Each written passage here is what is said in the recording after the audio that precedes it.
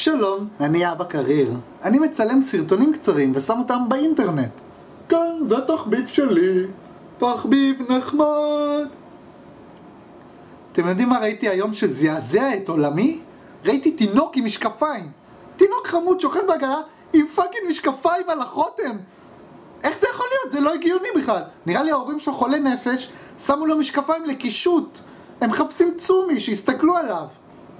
לא יכול להיות שהתינוק באמת סובל מבעיות ראייה. איך אפשר לאבחן את זה אצל תינוק? הרי איך עושים בדיקת ראייה? מה עושים בבדיקת ראייה? אתה הולך לרופא, הוא אומר לך איזה עוד זאת? ג', איזה עוד זאת? ל'. ואז הוא אומר, לא, זה A ו-ו', אתה אדוני זקוק למשקפיים. ככה מאבחנים בעיות ראייה.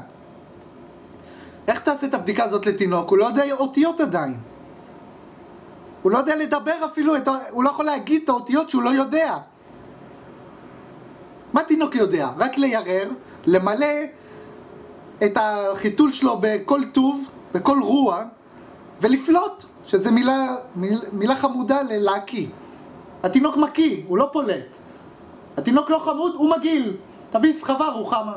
כוס סמק. הורים חולי נפש, התינוק לא סובל מבעיות ראייה, זה הורים סובלים מבעיות נפשיות. עוד שנייה הם ישימו לו סיגריה בפה, יגידו לו לנהוג הביתה בסופת הגשמים. שזה כמו סופת שלגים, רק עם טמפרטורה חמה יותר.